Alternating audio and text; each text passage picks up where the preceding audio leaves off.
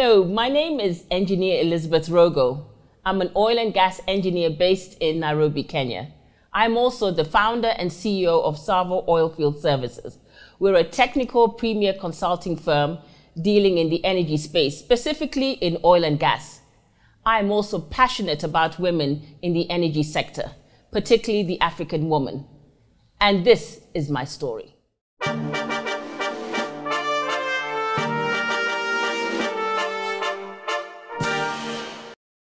Welcome to the CEO Bench. My name is Eddie Okila, and on this episode of the CEO Bench, we have the Iron Lady. She is the queen of oil and gas sector, as we refer to her, and she's seen it all, done it all, been around the world, been around the rigs, the oil rigs, offshore, onshore, and now back in East Africa to make the African girl shine. Ladies and gentlemen, with me is the engineer herself, engineer Elizabeth Rogo, all the way from Nairobi, Kenya in East Africa, into Kampala. And we've been having a very interesting conversation over the oil and gas, Uganda International Oil and Gas Summit in Kampala. And we decided to catch up and talk to Elizabeth about who is actually Elizabeth. And I will start this from a lighter note, Elizabeth. Who is Elizabeth? Elizabeth is a proud African first, proud African woman. I'm Kenyan by birth, the daughter of a very strong mother who unfortunately passed on two years ago, Ambassador Orie Rogo Manduli, and uh, the daughter of a brilliant scientist, my father, John Jeremiah Ondieki, who passed on a few months ago. I feel I'm the daughter of, of the soil and as you said, I'm here in Uganda, and you've been trying to get to lock me down, and you've finally done it. Yeah. After what I think was a, a very good Uganda oil and gas um, summit, I think number four, number eight, sorry. Number eight. Yeah, number eight, and I can't remember how many I've, I've done. but I have always yeah. participated where I can, so it's very nice to be back in Uganda. It's a bit humid, I have to say, uh, but I love Uganda. As you know, Uganda was my home from 2011 to 2013 when you're exploring for oil with Tullow Oil.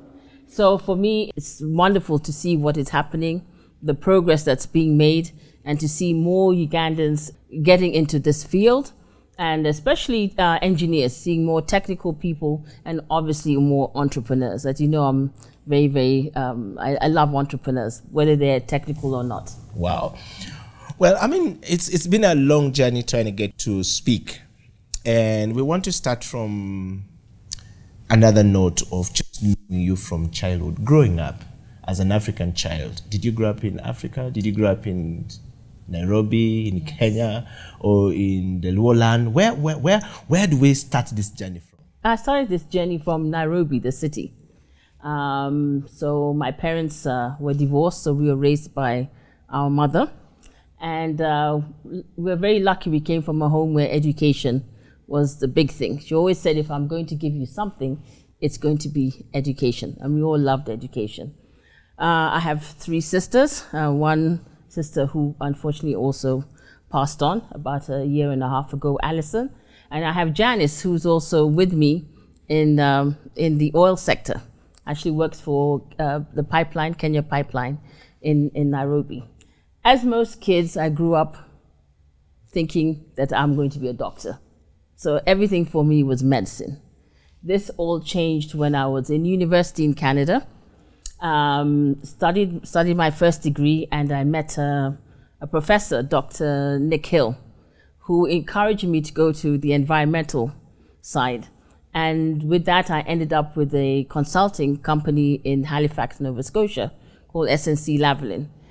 And in that consultants, or rather in that internship, is where I got to know about the oil and gas um, industry. And long story short, I found myself in um, Houston, Texas, and started my first foray in oil and gas proper with a well known company called BJ Services. And that was the beginning of my journey into the oil and gas sector. Wow.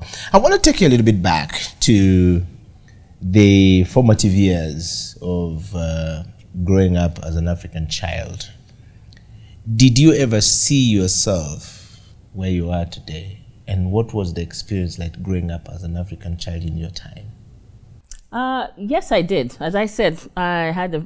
I would say my mother was um, somebody who really molded me. But did I see myself in an energy sector? No. It's so funny. I was thinking about this a few years back. That as a child, I remember sitting in an airport with my mother in a VIP lounge in Nairobi, and there was this gentleman that sat next to me, and he started talking, and I remember him having a bag that we used to carry when we worked offshore and I remember him talking about, I'm traveling, I've traveled. I think he was coming from Angola. I was very young then. And it just sounded fascinating.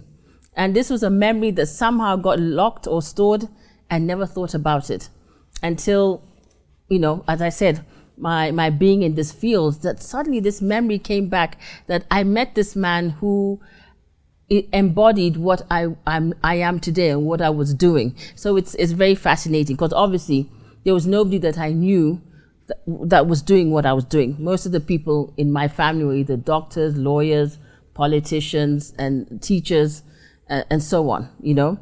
So I'd say in my family, I'm the first engineer as a woman, and also first in the oil oil field service sector. Um, so I'm I'm very proud about it. Let's talk about your parents. When parents are raising children, uh, they always have a certain liking of where they want these children to be. And you talked about your mom, you know, um, obviously she's a well-known woman in East Africa, and not to mention I would say I would say Af Africa, Africa and the world. Africa, yes, yes. yes she, she's mm -hmm. known in East Africa as, yes. as, as a powerful lady who was in um, who, who, embraced the sport taken you know, by men. Yes. Uh, she, she's credited being the first uh, Kenyan woman into the Kenya East Safari. East Africa East Safari African, Rally. East African Safari yes. Rally, yes, yes. yes. I, I, suppose she wanted you to be something else. How did you navigate your way from what your mother wanted where the path she was taken? She was a diplomat, she took the path, and then you ended up completely somewhere else. Did yeah, you disappoint her? No, not at all. Mom was ex extremely proud. Yeah. Um, and I think through her, through her, through her journey, as you said, in in the political realm, in the business realm, in entrepreneur. She was a, a big farmer, and that's how she left us as a big farmer. Mm. We were able to watch her. Now, obviously, being children of parents that are known and have done very well, one of the things she always said was create your own path. And I'm very grateful. So we've never had to, you know, hang on her skirt to be who we are. Uh, but we're obviously very, very proud to always mention, you know, you know where we where we come from. Yes. Okay, and let's talk about your dad. What was his contribution to this? What what what he he he was a scientist, according to yes, you. Yes. Yes. And obviously, we know that you wanted to be a scientist, which means you had influence at some point from him, but you didn't become a scientist in that context that he most probably wanted following his footpath. And sometimes parents feel disappointed that, I mean, this was supposed to follow my path and this has not happened. Did you ever have a conversation with your dad about this and how was the feeling like? Well, as I said, my parents divorced when I was very young, I think age seven.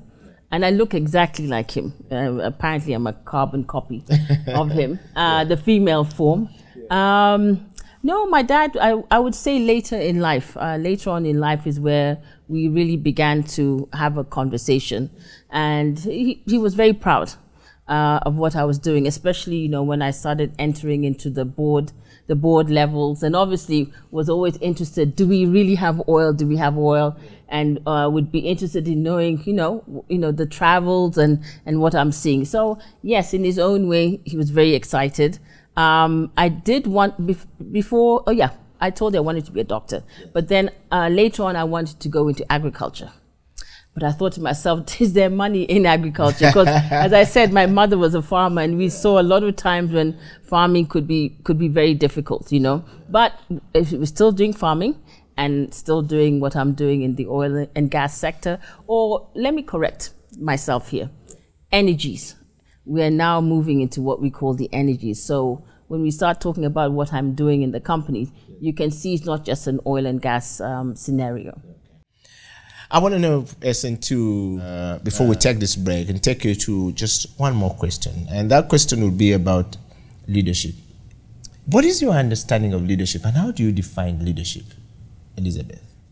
Ah, it's a good, it's a good question. Um, and the way I see lead, leadership is uh, you're a person um, that encourages, that emboldens people. You are able to set a clear path.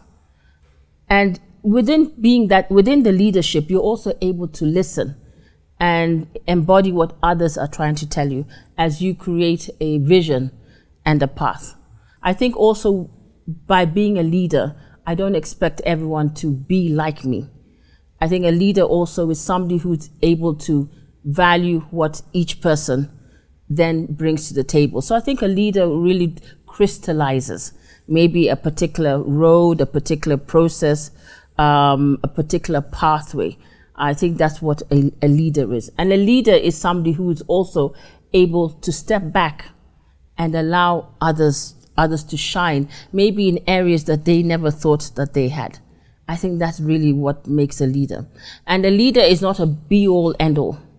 And I think as women, I think women somehow tap into that, especially on the emotional level. I think we're very good at um, coming from the oil and gas sector.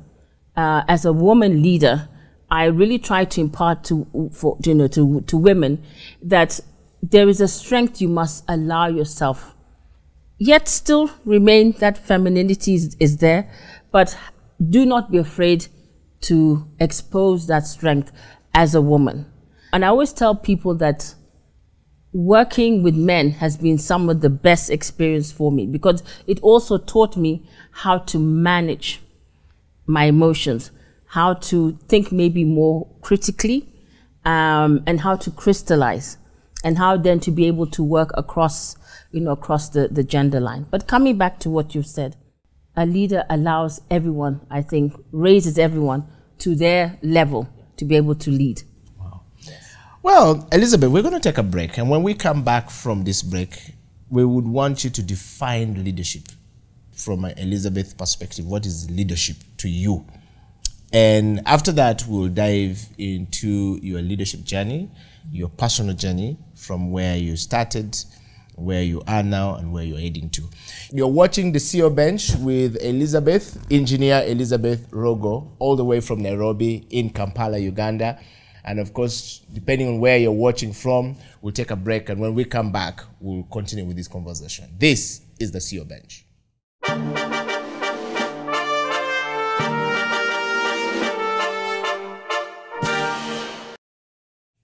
Welcome back from the break. My name is Eddie Okila, and this is the CEO Bench. In the studio with me is engineer Elizabeth Rogo, all the way from Nairobi, Kenya, in Kampala, and on the CEO Bench, where we get to talk about things that matters to leaders. And if you're looking for inspiration, where to start from, you know, learning from people who have been there, done that, and are moving, Elizabeth is one of those people who you want to find the inspiration from to start your journey moving forward. And, and this part of the show, we're going to be talking about the personal journey starting from leadership to how to change and manage change. Elizabeth, welcome back to the program. Thank you. Thank you. I mean, we talked about leadership mm -hmm. already. And I want us to pick up from what is leadership in your own context. If you're to define it in one minute, or in, in, in, in, in five words or in one word, what would you say? And how did that influence your decision to pick yourself and to start? Basically, your personal journey as a leader. So I'll pick up from uh, my personal journey as a leader because I don't want to give you a, a, textbook definition. Anyone can go and find it. Yeah. Um, did I know I had leadership in me? I think uh, in some form or fashion I did. I considered myself to be a little bit shy when I was uh, younger. Uh, but I guess I was more vocal than I thought. And this came, you know, obviously with age. I was always very curious and always wanted to put myself out there uh, when questions or, or, opportunities raised themselves. Um, I wasn't necessarily scared to make mistakes. I'm a big believer that it's through mistakes that you learn, but you don't also want to do too many mistakes that it negates uh, what, what you're doing. As I started my journey in, in oil and gas, this was a very, as you know, very male-oriented yes. uh, sector. And so I had to be able to find my space. So I always believe that leadership doesn't necessarily mean my title needs to say I'm a manager. But in just my scope, I was always trying to be the leader. So eventually became the lead engineer in the jobs we're doing, you know, onshore. Then, a, you know, become a region engineer. So you're, you're leading, then move on to, you know, business, this business segment, sales and marketing. And I know you like, you like marketing. So in that way, trying to build, as I said, the, the leadership. The thing, the thing that surprised me was, did I ever expect to start a company? That surprised me. And, and I want to just pick up from that point. A lot of us struggle with self leadership. Yes. And from what you've just explained, it appears that you started to practice self leadership from a very early age. And coming from a very strong background of a woman who picked herself and took herself to a male dominated space and owned it. And today she's known in Africa as a lady who was refined in that space. The personal journey is not an easy one for most people. No, no, it's not. And defining that moment to say, I need to start doing this is not easy for people. Would you share your experience of how you actually picked up to yourself? What was the journey like? I told you I started my oil and gas in Canada, then moved to the US. Um, and I first started in the marketing division. That's why I never poo poo marketing. So I'm here as an engineer, sitting in what was marketing division for US Mexico. Um, I was able to observe an area of the oil and gas industry that I really didn't know. It was called oil field services. And I was sorry, I was interacting with um, very high level people up to the president and providing reports. So I was able to say, to ask myself, when will I ever get to that level? What does it take for someone like me to get to that level? Well, I'm a foreigner, I'm a woman.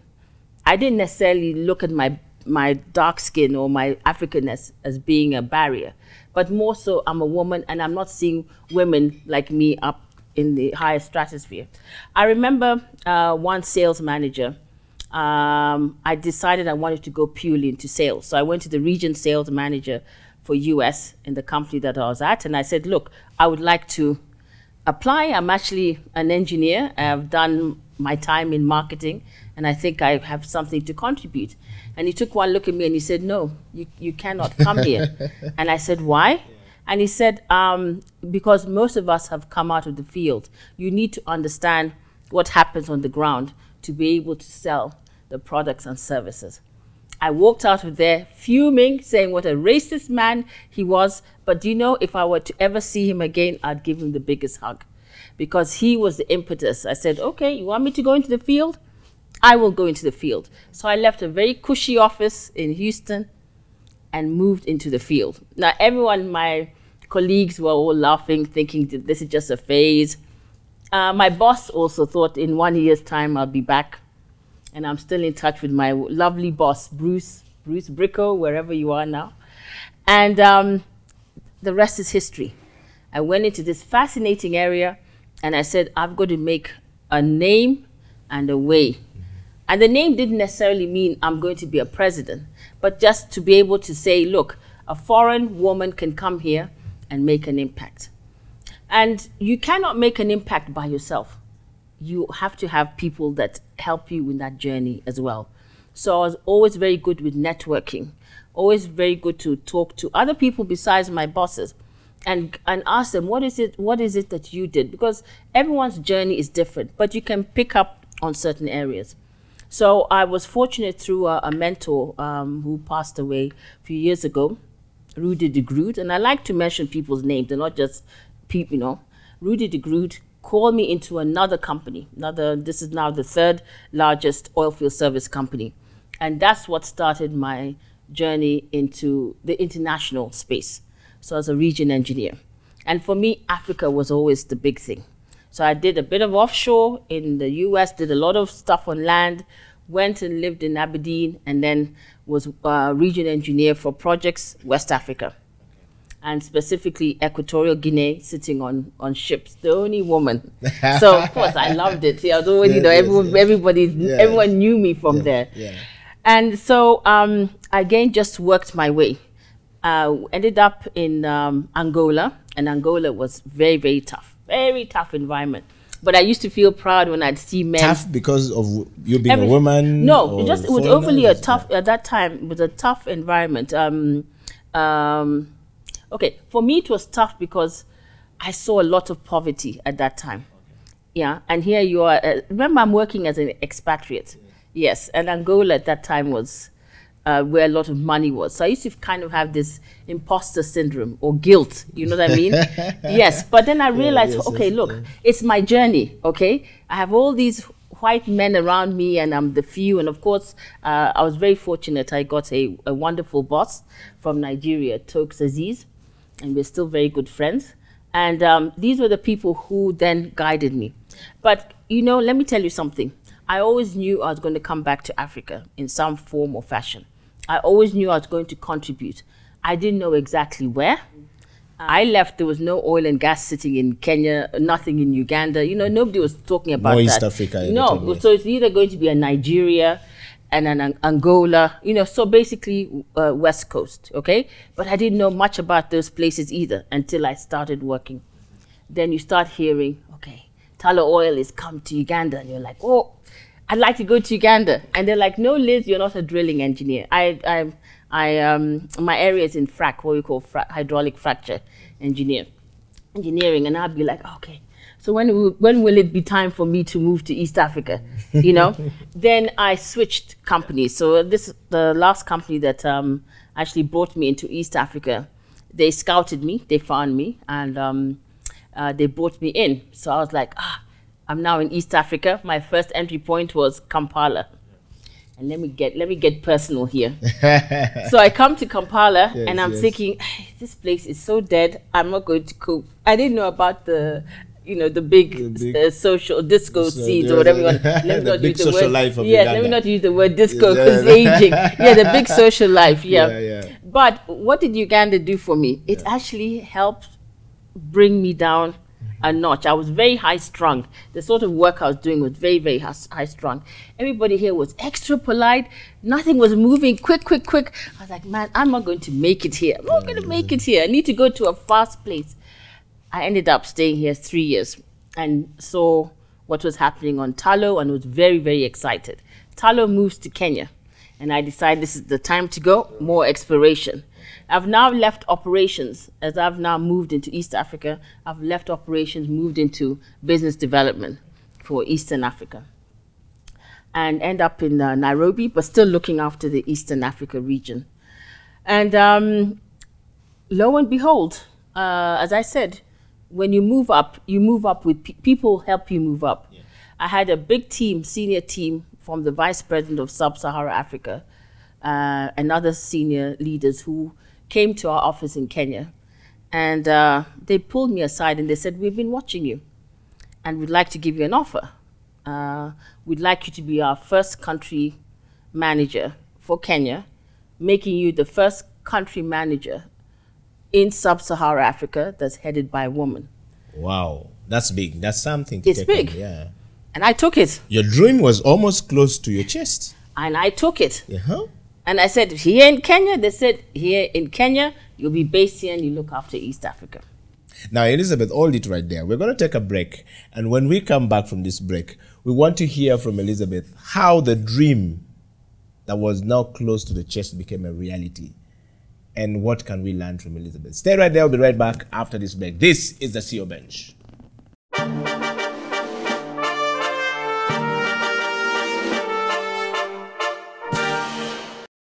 Welcome back from that break. This is the CEO Bench. My name is Eddie Okila, and in the studio is engineer Elizabeth Rogo, all the way from Nairobi, Kenya.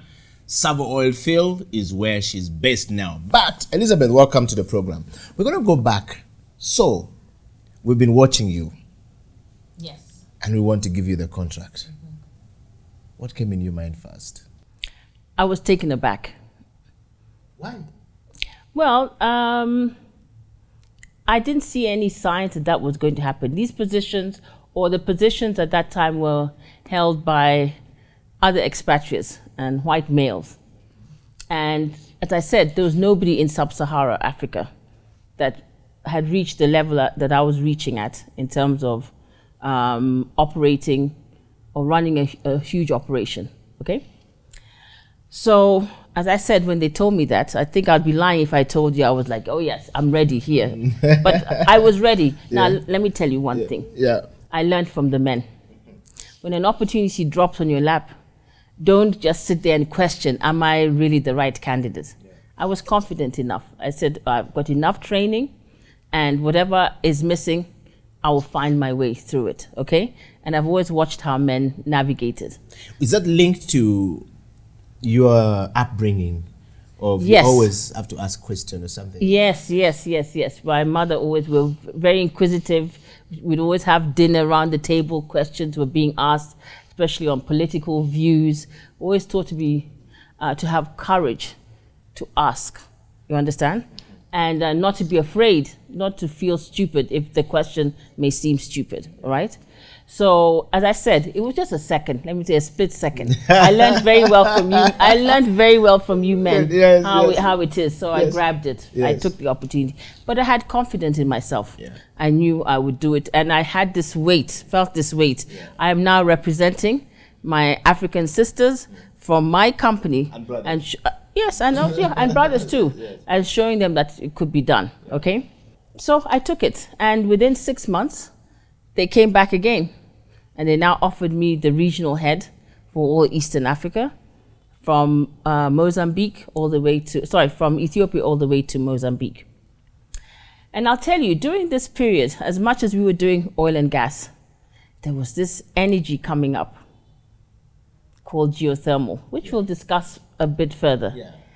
And I kept telling my people, guys, there's this energy here that's so unique in Eastern Africa.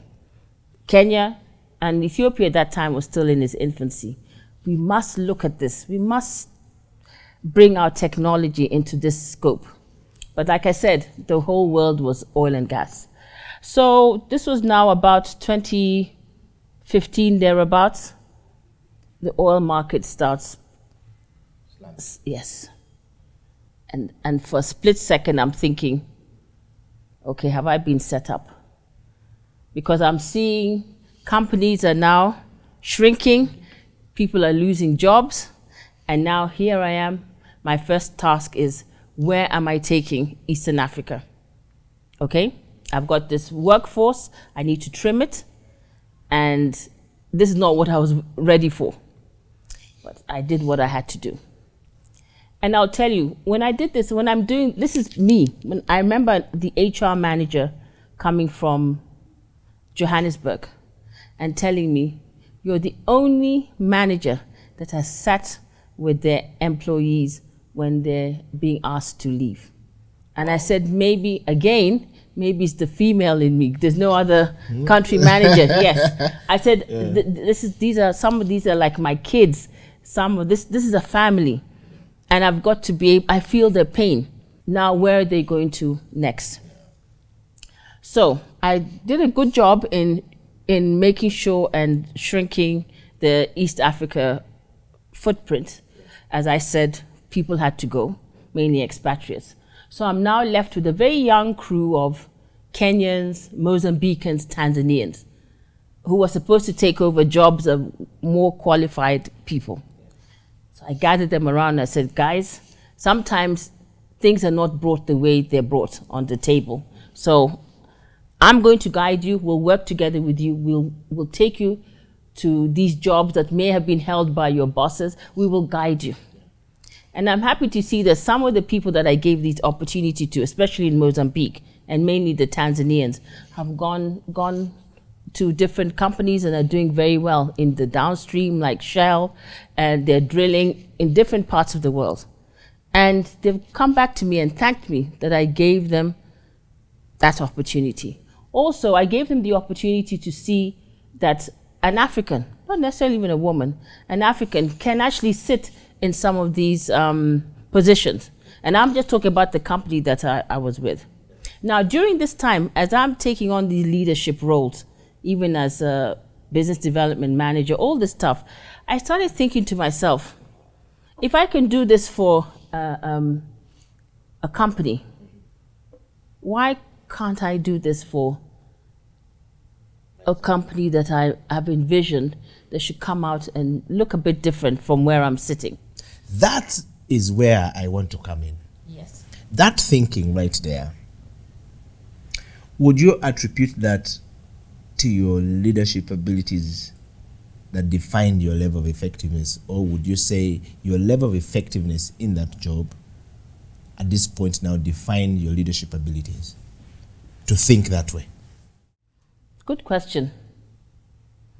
Um, I had to think as a leader because I think the, the effectiveness was there. So the thing was now I've got to think as a leader because if I'm going to start this company, I have nobody else to look to turn to.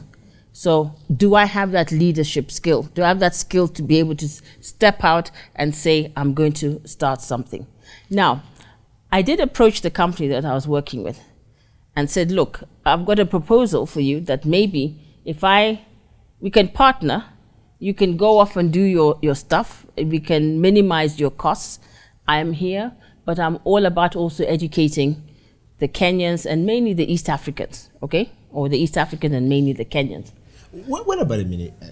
Elizabeth, at that point, had you now stepped down when you're approaching the same company you were? not yet. I had not yet stepped down. You you're trying no, to no because now I'm looking when you are yes, still correct. Because I'm looking at the I'm looking at the numbers, yes. and I'm looking at what is happening around me. Yeah. I'm seeing bases are closing, and and I'm seeing East Africa. Even though it's not in Nigeria, because all the emphasis was in Gabon, Nigeria, Congo. I'm saying this East Africa is a diamond in the rough if I don't speak out, they can easily just close it down and move on. Uh, you understand? So it was it was me uh, as a as a leader then as regional head. I felt it was my mission to tell the folks in Houston and Johannesburg, guys, don't leave this place.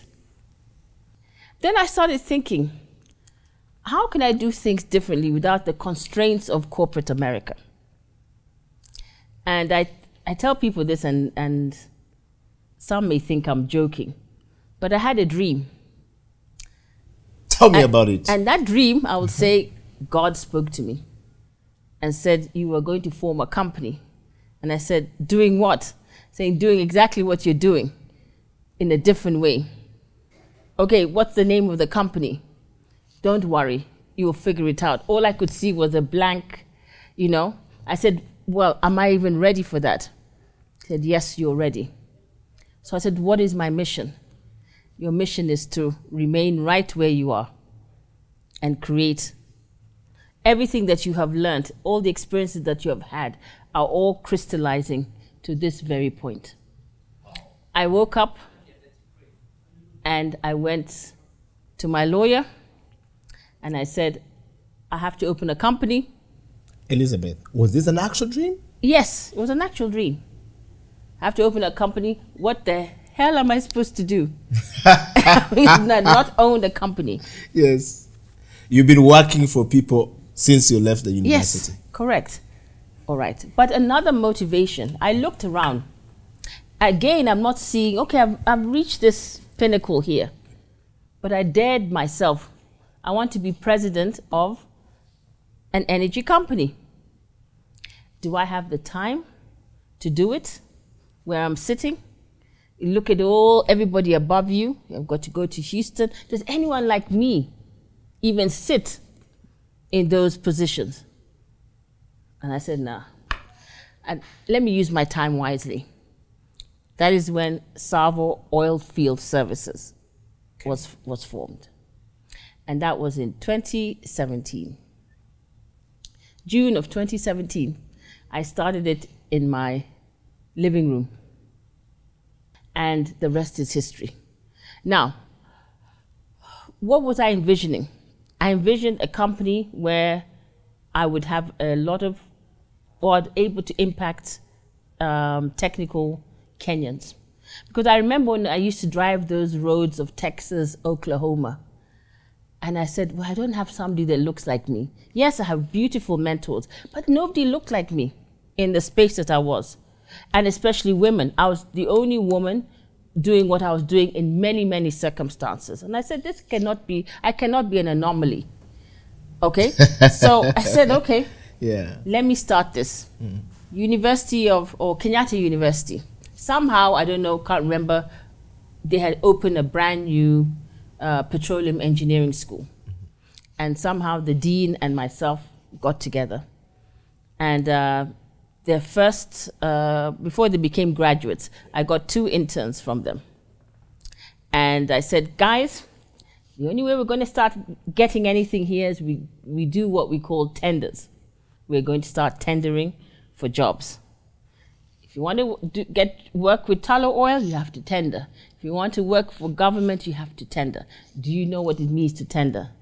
And these two young men looked at me, and I could see in their eyes they're like, "This is not what we signed up for." You threw them in the deep end. I threw them in the deep end. And you know what? I keep throwing them in the deep end. That formula has worked for me. Okay? That throw in the deep end, you have Yes. to swim from there. Correct. Sharks infested waters. Correct. If you survive, Yes. you're going to survive. Correct.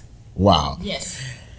Elizabeth, before we take another break, all these stories and all this energy behind you, would you term it as a woman who realized that if my mother did it, I can do it? Yes. was that energy around her was the things that talk about her you know a motivation motivating factor for you to go into this thing and say let me go here and if yes what would then what would you then define change management to be and how can we manage that change because possibly um, you know rather it's not very possible for most people to do it easily. And change management is not something that comes very easy to people. But you started to manage change when things were happening you could see it and you started to have a discussion within your company and saying hey wait a minute. Guys they might close east africa down or shut it down completely. Just before the light is shine on my side let me go and shine the light there. That's what you did. I think um, it's very important to have a few cheerleaders around you. And as I said, my sisters and my mother, particularly, were my cheerleaders, okay? The inner core. And uh, there'll be times you'll doubt yourself. Nobody, you will. We're all human beings. But I always would draw the inspiration from my mother because even the stuff that she used to do, she was doing things when a lot of women were not doing it. She was the first, as you mentioned, she was the actually the first African woman in the East Africa Safari Rally, which was the toughest at the time. This is 19, 1974 a young girl, a young girl at that time, or young lady, sorry, at that time, what motivated her? What did she know about Safari Rally? You understand? So I, I, I, I take energy from that. What did I know about oil and gas? Nobody, nobody told me. What, what did I know about energy? So I took that. I said, if you're going to go into this field, you've got to, you've got to own it. You've got to breathe it. You've got to live it. Uh, But as you're doing that, always remember to bring people with you. It cannot be a, a journey, a lone journey. Because I always believe that when you finish that journey, you must have a huge mass of people behind you. I always tell people, yes I always tell people, I don't want to be morbid here. I always tell people that the people that will bury me are the, are the people behind me, the people that I brought up, the people that I showed the way. Some may not see it. And I tell them, at this time, you may not see what I'm trying to show you, but maybe one day you'll see it. and some may even see it and say that's all i was looking for what do i need from this lady? Yeah. and they will never appreciate the Correct. background of where they have correct come correct. from. But Yes. you, you that's life. Yeah. you you move on. You don't take that you don't take that personally you know? okay. Yeah. We're gonna take But- yes go on. No i think you, the question you're asking me about was uh, change change management and i was telling you you must have people people around you. I said um, change management can come anytime.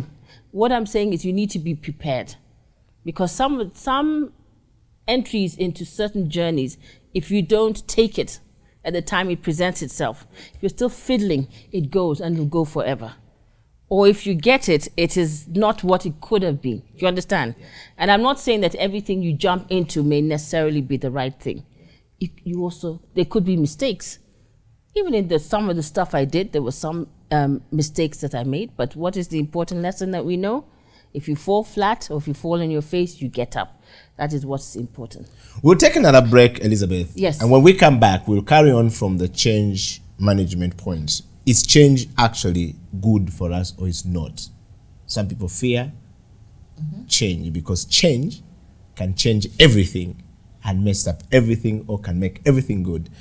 This is the CEO Bench. My name is Eddie Okila, Elizabeth Rogo in the studio here. The CEO Bench will take a break, and when we come back, we'll be talking to Elizabeth about change management. Is change actually good, or we should just not change anything?